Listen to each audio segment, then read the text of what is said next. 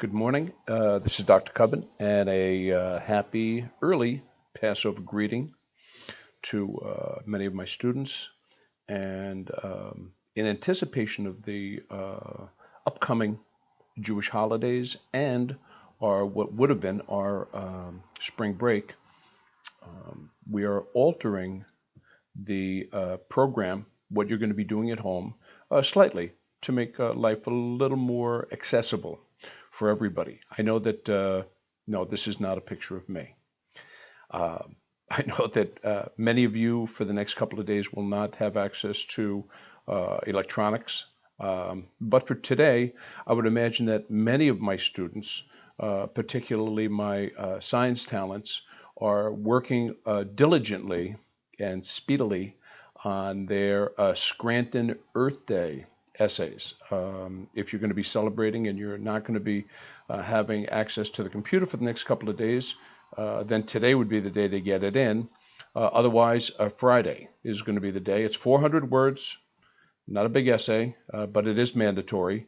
And uh, I've sent out several notices on how to format and update to Jupiter. It has to be formatted correctly and updated to Jupiter for you to receive credit. Okay, Anyway, uh, so what we're going to be doing is going to be changing the uh, program slightly by um, giving you the opportunity to do some uh, some interesting uh, projects.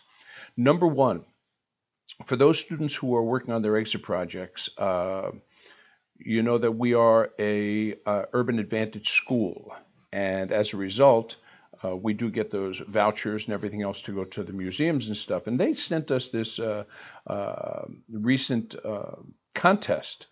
Uh, and not really a contest, just a thing to do at home, uh, based with the Audubon Society, and it is a um, a pigeon watch. Now, you know how much I love field studies, and our field studies are very important. Um, when when I started to look at this, uh, I became more engaged because it's pretty interesting. It's what we do. I know that I've talked to you about uh, either the fish in Sheepshead Bay or the clouds or the people walking down the street or the squirrels, really in particular, and watching their behavior. Uh, but this is also along those same themes, and this is called a pigeon watch. Now, I know how people feel about pigeons. I know exactly how you feel, and this is pretty much what you're thinking. You know, New York City folks, we like to refer to uh, pigeons as the official flying rat, uh, but but that is not really the case.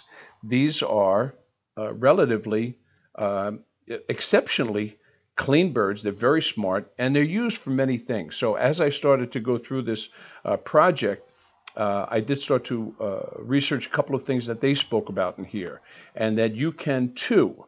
Uh, keep in mind that what we're going to be doing over the next um, Thursday, Friday, and next week, um, many of these are optional. These are not required, but these are to keep your uh, toe in the pool, to say. And uh, so to keep you in the game and to keep you uh, actively researching and finding out information. Uh, you're going to have virtual tours. You're going to have a bunch of interesting stuff that I'm going to be posting. Uh, and this is one of them. Uh, so if you go down, I'm going to be putting this uh, link along with this in Google Classroom. Uh, if you go down, it has some really interesting stuff. Uh, gives you some background on uh, pigeons, and um, it also gives you background on some of the pieces of the Audubon Society, which is really a very, really a, a great uh, a group of people who do wonderful things for uh, for the uh, environment.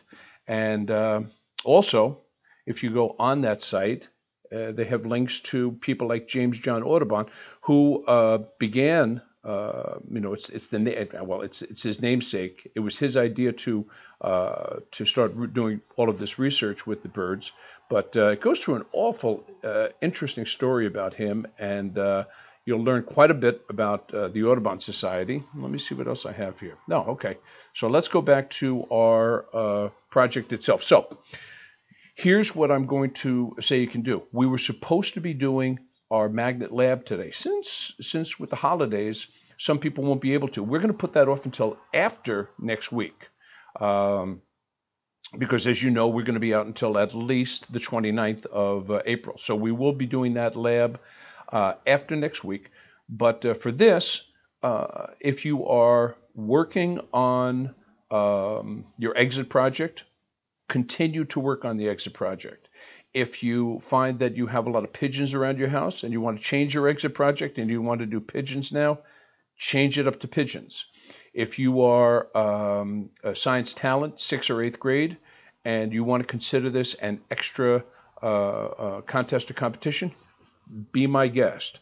So it gives you everything you need on here and also gives some really interesting, uh, I just want to see this again. I just love that picture.